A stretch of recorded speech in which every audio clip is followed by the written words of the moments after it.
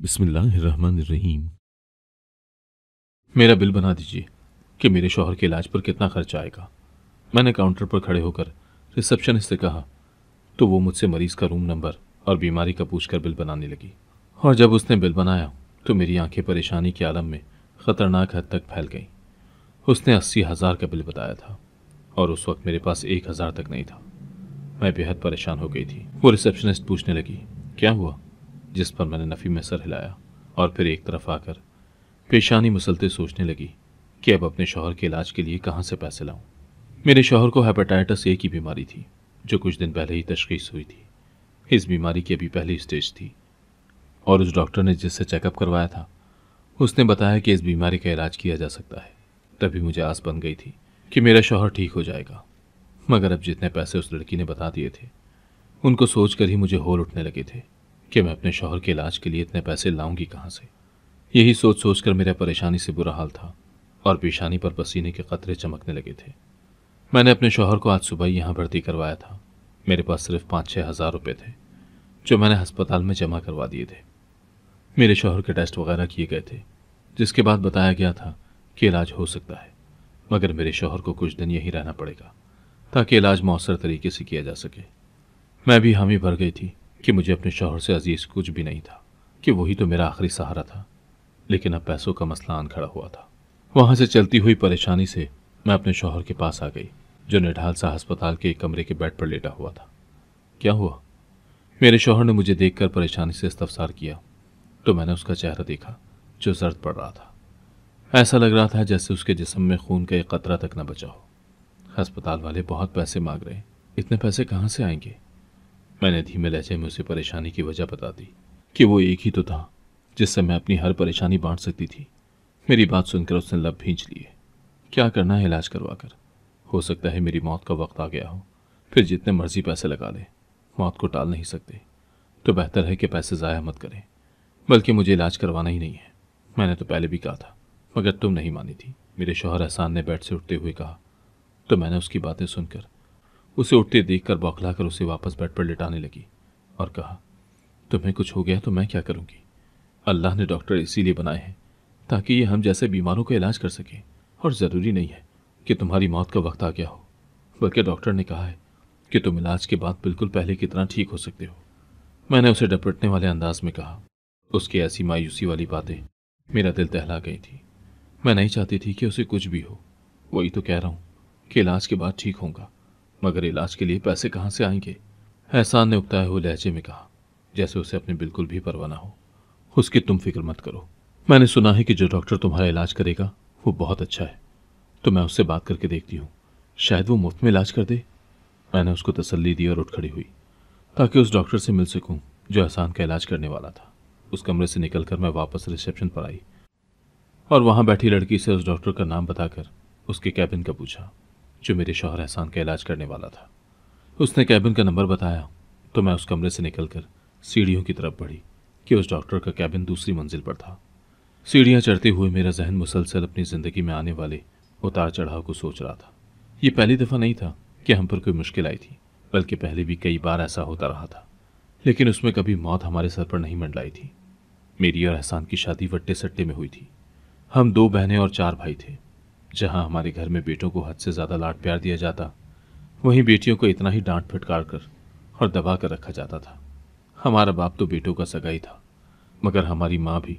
हम दोनों बहनों को किसी खाते में नहीं लाती थी, वो खुद औरत थी, मगर उसे हम दो लड़कियों का एहसास तक न था। हमने सुना था कि एक औरत अपनी बेटियों के लिए कुछ भी कर सकती है, लेकिन हमारी माँ को भी। हमारे बाप की तरह अपने बेटे ही प्यारे थे। या यूँ कहना बेहतर था कि हमारे घर में लड़कियों को भेड़ बकरियों की तरह हाँका जाता है। और वही करती हैं, जो उनके माँ बाप कहते हैं। मैंने और मेरी बहन ने सिर्फ़ मैट्रिक तक की तालीम हासिल की थी।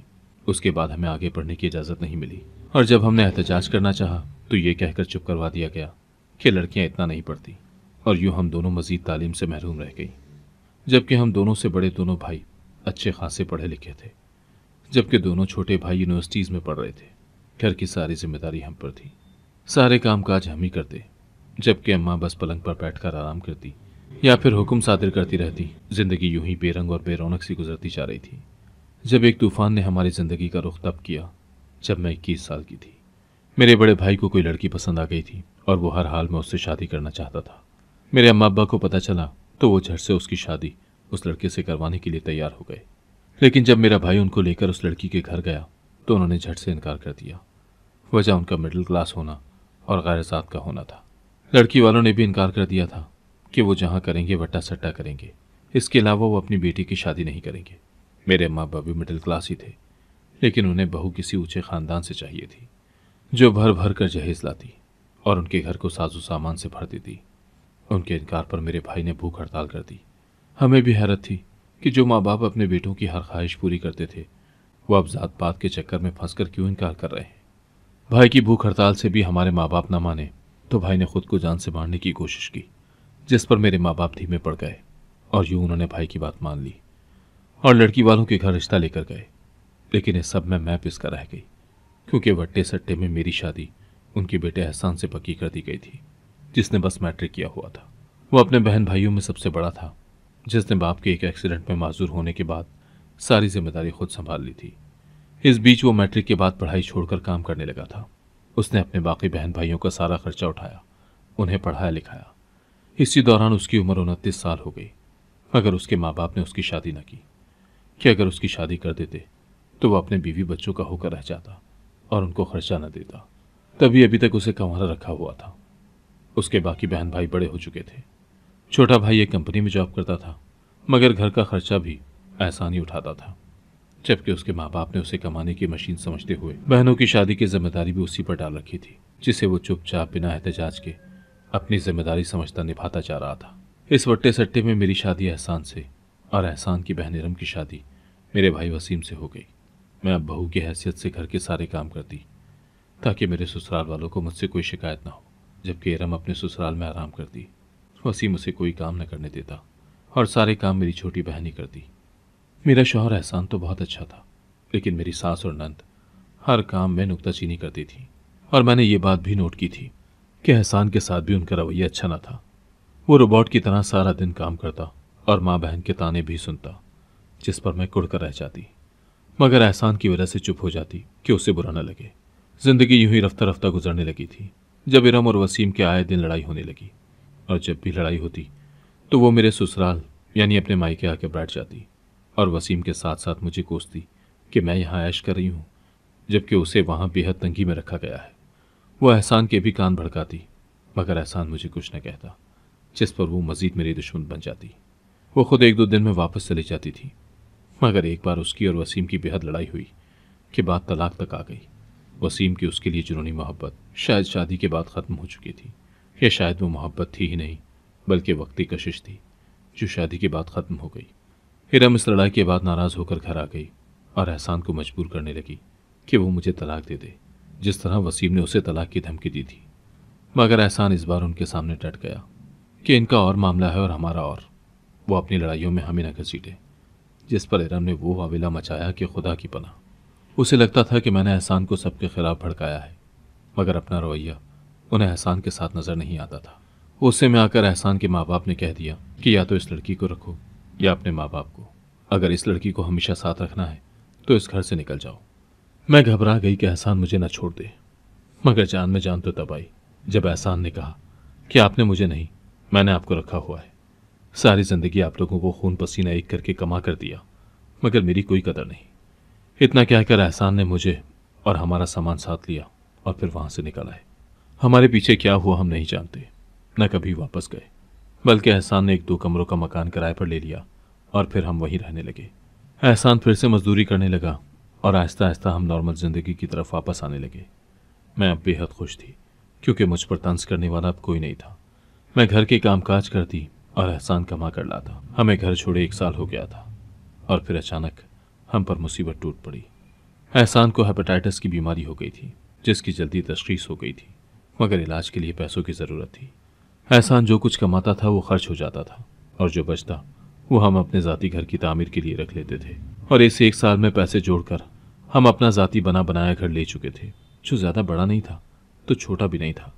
अब हमारे पास इतने पैसे नहीं बचे थे कि एहसान का इलाज करवा पाते। वो एक महीने से काम पर नहीं गया था, बल्कि बीमारी की वजह से घर पर ही था। और इस एक महीने में मैंने वही पैसे खर्च किए थे, जो जोड़ जोड़ कर रखे हुए थे। और अब मुझे पैसों की किल्लत हो गई थी। एहसान की मायूसी वाली बातें सुनकर मैं परेशान थी। मैं उसे खोना नहीं चाहती थी, क्योंकि मैं उससे बहुत मोहब्बत करती थी। इन्हीं सोचों में गुम मैं डॉक्टर के कमरे में दाखिल हुई, जिसका नाम सरफराज था, और यही एहसान का डॉक्टर था, जो उसका इलाज करने वाला था। उसको सलाम करके मैं उसके सामने बैठी और उससे एहसान के बारे में बात करने लगी। सारी बात सुनकर उसने कहा कि वो मेरे शोहर का मुफ़्त इलाज कर देगा, मगर उसकी एक शर्त है। मैं उसकी बात सुनकर हैरान हुई और पूछा कि कैसी शर्त? पूछते वक्त मैं घबराई भी कि न जाने वो कौन सी शर्त रखेगा। न जाने मैं वो पूरी कर भी पाऊँ या नहीं। मेरे दिल में अजीब अजीब सी सोचें उभर रही थी। मेरी बीवी बेटे को जन्म देते हुए मर गई है और मेरी बेटी को संभालने वाला और पालने वाला और कोई नहीं है। मैं सारा दिन यहाँ अस्पताल में होता हूँ। घर पर मुलाजमा है, मगर वो घर के कामकाज में मसरूफ़ होती है, जिसकी वजह से मेरी बेटी को वो इतनी तवज्जो और प्यार नहीं दे पाती और ना ही उसका ख्याल रख पाती है। अगर तुम मेरी बेटी का ख्याल रखोगी तो मैं मुफ़्त में तुम्हारे शोहर का इलाज कर दूँगा। डॉक्टर ने कहा तो मेरी जान में जान आई। कि यह ऐसा कोई मुश्किल काम नहीं था, बल्कि आसान ही था। मैं उसकी बेटी को आराम से संभाल सकती थी। वैसे भी मुझे बच्चे बहुत पसंद थे। मेरी अपनी तो कोई औलाद नहीं थी। तभी मुझे बच्चों का बेहद शौक था। और अब अगर मुझे बच्चे संभालने का मौका मिल रहा था तो मैं कैसे पीछे हटती? कि इसके बदले मेरे शौहर का मुफ़्त में इलाज हो जाता। मैंने झट से हामी भर दी, जिस पर उस डॉक्टर ने मुझे अपने घर का एड्रेस दिया। मैंने एड्रेस लेकर उसका शुक्रिया अदा किया। उसने मेरी मदद करने की हामी भरी। मैंने एहसान को सारी डिटेल्स दे दी थी। और उससे कहा था कि अब सब कुछ वो खुद ही देख लेगा। मैं उस डॉक्टर के हमरा उसके घर चली आई। वो मुझे अंदर ले आया और अपनी छोटी सी बेटी से मिलवाया, जो अभी एक महीने की थी। वहाँ एक मुलाजमा थी, जो घर की देखभाल करती थी। डॉक्टर मुझे सब कुछ समझाकर और मुलाजमा को मेरे बारे में बताकर वापस अस्पताल चला गया। मैंने डॉक्टर की बेटी को अपनी गोद में ले लिया, जो बेहद प्यारी थी। अब मैं रोज़ डॉक्टर के घर में रहने लगी और उसकी प्यारी सी बेटी का ख्याल रखने लगी, जो बहुत जल्द मुझसे मानूस हो चुकी थी। डॉक्टर रात को घर आता और सुबह सवेरे उठकर चला जाता। मुझे रहने के लिए एक अलग से कमरा दिया गया था। वो डॉक्टर दिखने में काफ़ी खूबसूरत और शरीफ सा था। तभी मैं बेफिक्र होकर वहाँ रह रही थी और डॉक्टर की बेटी का अच्छे से ख्याल रख रही थी।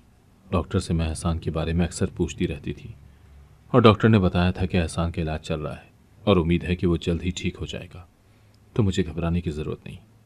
मैं भी मुतमिन हो गई थी कि अब मेरा शौहर बिल्कुल पहले की तरह ठीक हो जाएगा। मैं डॉक्टर की बेटी का पहले से बढ़कर ख्याल रखने लगी थी कि ये एक तरह से मेरा उस डॉक्टर के लिए इजहार तशक्र था। उस दिन मैं डॉक्टर की बेटी को उसके कमरे में सुलाकर बाहर आई तो लाउंज खाली था। मुझे भूख का एहसास हो रहा था। तभी मैंने किचन की तरफ़ कदम बढ़ाए। मगर मैं अभी किचन के दरवाजे पर पहुँची थी जब मैंने मुलाजमा की आवाज़ सुनी, जो मेरे बारे में कह रही थी कि बेचारी मजबूर औरत भी डॉक्टर के जाल में फंस गई। अब इसका भी वही हाल होगा जो ऊपर बंद कमरे में लड़कियों का हुआ है। मुझे समझने में देर नहीं लगी थी कि वो मुलाजमा मेरे बारे में ही बात कर रही है। मैं बेतहाशा डर गई कि न जाने ऊपर कौन सी लड़कियाँ हैं और उनके साथ क्या हुआ है। मैं वहाँ से दबे कदमों तेज़ी से हटी और फ़ौरन ऊपर गई। मुझे यहाँ रहते हुए काफ़ी दिन हो गए थे, मगर अभी तक मेरा ऊपर वाले कमरों की तरफ़ जाने का इतफाक़ नहीं हुआ था, क्योंकि ये पराया घर था, जहाँ मैं बिला वजह दंदराना नहीं चाहती थी। यही सोचकर मैं ऊपर अब तक नहीं गई थी, बल्कि सारा वक्त डॉक्टर की बेटी को ही संभालती थी। मैं ऊपर आ चुकी थी। जहाँ सन्नाटा छाया हुआ था। जो ही ऊपर वाला कमरा खोला। पैरों तले से ज़मीन निकल गई, क्योंकि सामने बेड पर एक लड़की लेटी हुई थी, जिसके जिस्म में जरा सी भी हरकत नहीं हो रही थी। उसके मुँह पर ऑक्सीजन मास्क लगा हुआ था, हाथ पर कैनला और साइड में ड्रिप स्टैंड लटक रहा था। बेड के दाएँ बाएँ कई मशीनें रखी हुई थी। इससे पहले कि मैं हैरत से निकलकर उसकी तरफ़ बढ़ती, मेरे पीछे अचानक कमरे का दरवाज़ा जोरदार आवाज़ से बंद हुआ, जिस पर मैं डर कर उछली और तेज़ी से खौफजदा होकर पलटी। मगर मेरे पीछे दरवाज़ा बंद हो चुका था। मैं तेज़ी से आगे बढ़कर दरवाज़ा खोलने की कोशिशें करने लगी, मगर मेरी हज़ार कोशिशों के बाद भी वो दरवाज़ा न खुला, जिस पर मुझे डर लगने लगा। काफ़ी देर कोशिशें करने के बाद मैंने दरवाजे को छोड़ा और उस लड़की की तरफ़ मुतवजह हुई, जो बेड पर बेहिसो हरकत लेटी हुई लाश लग रही थी, लेकिन वो ज़िंदा थी। इस बात का अंदाज़ा मुझे उसे सांस लेते हुए देखकर हुआ। वो ज़िंदा तो थी, लेकिन ज़िंदा लाश वो लड़की काफ़ी प्यारी थी और शक्ल से तकरीबन चौबीस पच्चीस साल की लग रही थी। मैं उसके करीब ही बेड पर बैठकर उसकी तरफ़ देखते हुए उसके बारे में गौर फ़िक्र करने लगी कि ये न जाने कौन है और इसके साथ ऐसा क्या हुआ है जो ये यहाँ पर मौजूद है। वो भी इस साल में। मुझे उस लड़की के बारे में सोचते हुए मुलाजमा की बातें याद आईं, जो कह रही थी कि ये भी उस डॉक्टर के जाल में फंस गई थी। बिल्कुल वैसे ही, जैसे ऊपर वाले कमरे में मौजूद लड़कियाँ फंसी थी और उनका बुरा हाल हुआ था। तो मेरा भी यही हाल होगा। लेकिन यहाँ तो सिर्फ़ एक ही लड़की थी, वो भी बीमार और अपने होशो हवास से बेगाना। अभी मैं यही सोच रही थी, जब अचानक कमरे के दरवाजे पर ज़ोर ज़ोर से खटका होने लगा। कोई बार बार दरवाजे का हैंडल घुमा रहा था, मगर कमरे का दरवाज़ा खुल नहीं पा रहा था। मैं खुश्क होता हलक और खौफ से धड़कता दिल लिए। वहीं खड़ी बंद दरवाजे को देखती रही। मुझे समझ ही नहीं आ रहा था कि इन मुश्किल हालात में क्या करूँ।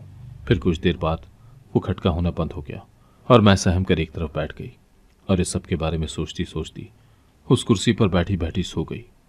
जब मैं जागी तो दिन चढ़ चुका था, लेकिन कमरे का दरवाज़ा अभी भी बंद था, जैसे यहाँ पर कोई आया ही ना हो। मैंने तेज़ी से दरवाज़ा पीटना शुरू कर दिया कि अब खौफ से मेरी जान निकल रही थी। उस कमरे में एक बेजान वजूद के साथ रहना, किसी लाश के साथ रहने जैसा ही था। तभी मेरे खौफ में इजाफा हो चुका था। दरवाज़ा नहीं खुला, जिस पर मैं बेदम होकर रह गई। भूख से बुरा हाल था और फिर यूँ ही सुबह से दोपहर और दोपहर से शाम हो गई। दरवाज़ा न खुला। अब तो मेरी हिम्मत जवाब देती जा रही थी और लग रहा था कि मैं किसी भी वक्त बेहोश हो जाऊँगी। रात के वक्त हिम्मत करते हुए मैंने फिर से दरवाज़ा पीटना शुरू कर दिया। अभी मुझे दरवाज़ा पीटते हुए पाँच मिनट ही हुए थे, जब अचानक कमरे का दरवाज़ा दूसरी तरफ़ से ज़ोर ज़ोर से धड़धड़ाया जाने लगा, जिस पर मैं चीख कर रह गई और पीछे हट गई। तभी एक झटके से दरवाज़ा खुला और मुझे वो डॉक्टर सामने नज़र आया, जिसका ये घर था। उसको देखते ही मुझे मुलाजमा की बातें याद आईं और मुझे डॉक्टर से खौफ महसूस हुआ। जिस पर अगले ही पल मैं अपने होश हवा से बेगाना हो गई। वो डॉक्टर खतरनाक था, जो मेरे साथ पता नहीं क्या करता। मेरे दिमाग में बस उस वक्त यही था। जब मुझे होश आया तो मैंने खुद को उसी कमरे में पाया, जिसमें मेरी रिहाइश पजीर थी। और ये डॉक्टर का घर ही था। मेरी नज़रें सामने पड़ी तो चौंक कर उठ बैठी, क्योंकि सामने मुलाजमा बैठी हुई थी, जिसके हाथ पीछे बंधे हुए थे। उसके साथ ही कुछ फासले पर डॉक्टर खड़ा था, जो कीना तोज निगाहों से मुलाजमा को घूर रहा था। उसके साथ ही डॉक्टर की बेटी का झूला रखा था जिसमें डॉक्टर की बेटी सो रही थी। मुझे माफ़ कर दो। मैंने कुछ नहीं देखा। मुझे जाने दो। मैं किसी को कुछ नहीं बताऊँगी। मैंने तेज़ी से डॉक्टर को देखते हुए अपने नाकर्दा जुर्म की माफ़ी मांगी, ताकि वो मुझे छोड़ दे। माफ़ी मत मांगो, डॉक्टर ने भड़क कर कहा। तो मैं मजीद रोने लगी। मुझे मत मारना। मेरे शौहर को मेरी ज़रूरत है। वो बीमार है। मैं सच में किसी को कुछ नहीं बताऊँगी।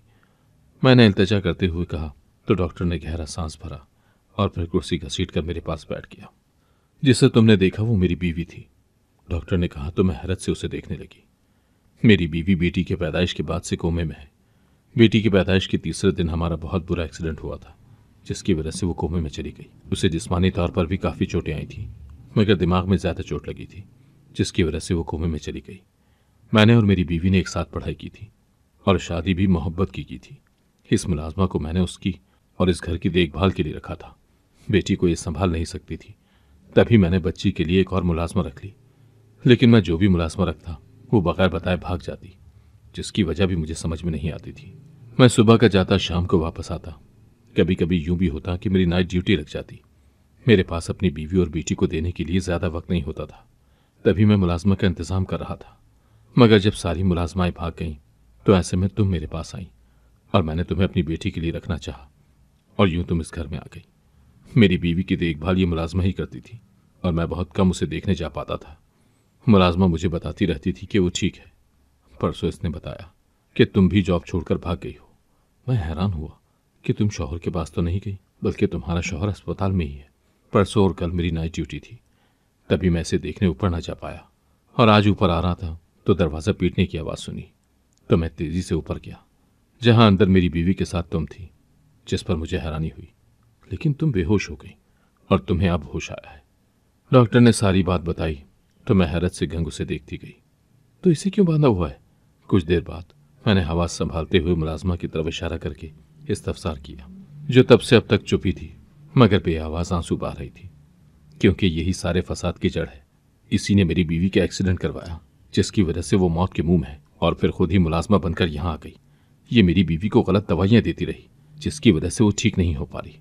और यहाँ आई हुई सारी मुलाजमाओं को भगा देती ताकि मेरी बेटी यूँ ही माँ को तड़पती बिलकती रहे।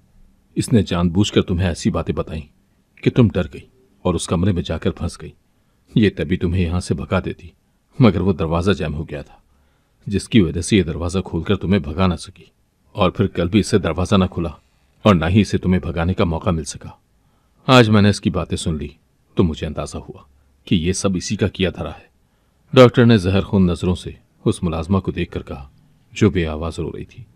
लेकिन इसने ये सब किया क्यों? मैंने हैरत से पूछा तो डॉक्टर ने गहरा सांस भरा और अपनी बेटी की तरफ़ मुतवजह हुआ। मैं एक सच्चा और ईमानदार डॉक्टर, जिसने कभी अपने पेशे से नाइंसाफी नहीं की, बल्कि हमेशा ईमानदारी से अपना फ़र्ज़ निभाया। मेरे पास तीन साल पहले एक केस आया था। वो लड़का अट्ठारह साल का था। उस लड़के को कैंसर था जो लास्ट स्टेज पर था। हमने पूरी कोशिश की कि उसे बचाया जा सके। उसे दवाइयाँ दी गई। टेस्ट किए गए। और बेहतरीन माहौल फराहम किया गया, ताकि वो जल्द ठीक हो जाए। इस सब के बावजूद कि वो एक गरीब घराने से था, उसके घर वाले हमारी फ़ीस नहीं दे पाए थे, लेकिन मैंने अजराह हमदर्दी, अपनी जेब से उसकी लाखों की फ़ीस भरी। लेकिन इलाज के दौरान उसको रेडिएशन से गुजारा गया, जो कि इस इलाज का एक हिस्सा था, जिसे उसका दिमाग बर्दाश्त नहीं कर पाया, और उसके दिमाग की नसें फट गईं, जिसकी वजह से उसकी मौत हो गई। उसके घर वालों ने हम पर इल्ज़ाम लगा दिया कि हमने जानबूझकर उनके लड़के को मारा है, इसलिए कि वो फ़ीस नहीं दे पाए। हालाँकि उसकी फ़ीस मैं उसके घर वालों को बताए बगैर अदा कर चुका था। मैंने उनको समझाने की बहुत कोशिश की, मगर वो मरने मारने पर उतर आए, जिस पर हमें पुलिस को बुलवाना पड़ा और उन्होंने उन लोगों को वहाँ से निकाला। ये उस लड़के की बहन है, जो मुझसे इसी बात का बदला लेने के लिए मेरे घर आई। मेरी बीवी को मौत के दहाने पर ला खड़ा करके मेरी बेटी को उसकी माँ की ममता भरी गोद से महरूम कर दिया। इसे मेरी बात पर यकीन नहीं आएगा, लेकिन मैं अस्पताल का रिकॉर्ड चेक करवा सकता हूँ, जहाँ मैंने उसके भाई के इलाज की फ़ीस भरी थी। तभी तो उसके भाई का इलाज मुमकिन हो पाया, वरना अस्पताल वाले उसे उसी वक्त अस्पताल से निकाल देते। डॉक्टर ने कहा तो मैंने तासुब से मुलाजमा को देखा, जो अब रोते हुए डॉक्टर से माफ़ी मांग रही थी। डॉक्टर ने उसे छोड़ दिया, जिस पर वो माफ़ी मांगती चली गई। मैंने भी डॉक्टर से माफ़ी मांगी, जिस पर उसने एक बार फिर अपनी बेटी मेरे हवाले कर दी। एक महीने बाद एहसान सेहतियाब होकर डॉक्टर के घर आ गया, क्योंकि हमने फैसला किया था कि हम तब तक उसकी बेटी का ख्याल रखेंगे, जब तक उसकी बीवी ठीक नहीं हो जाती। एहसान भी काम पर चला जाता। और मैं पीछे डॉक्टर की बीवी और बेटी का ध्यान रखती, ताकि डॉक्टर का एहसान उतार सकूँ, जो उसने एहसान को मुफ़्त में इलाज करके हम पर किया था। दो साल बाद उसकी बीवी कोमे से बाहर आई, और उस दौरान मेरा एक बेटा हो चुका था। उसके ठीक होने के बाद हम अपने घर वापस आ गए, और अपने बेटे के साथ हँसी खुशी ज़िंदगी गुजारने लगे। मगर हमारी डॉक्टर और उसकी बीवी से अच्छी खासी रिश्तेदारी और दोस्ती हो चुकी थी। अगर आपको आज की कहानी पसंद आई है तो वीडियो को ज़रूर लाइक कीजिएगा और अपने दोस्तों के साथ भी शेयर कीजिएगा। और हाँ अगर आपने अभी तक हमारा चैनल सब्सक्राइब नहीं किया तो ज़रूर सब्सक्राइब करें। मिलते हैं कल एक नई और दिलचस्प कहानी के साथ। अल्लाह हाफिज।